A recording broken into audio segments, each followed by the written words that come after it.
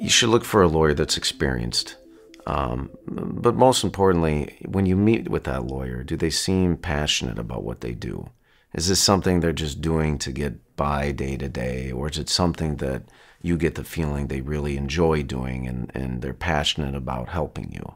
Because at the end of the day, you're facing probably the most serious situation you've ever had in your life.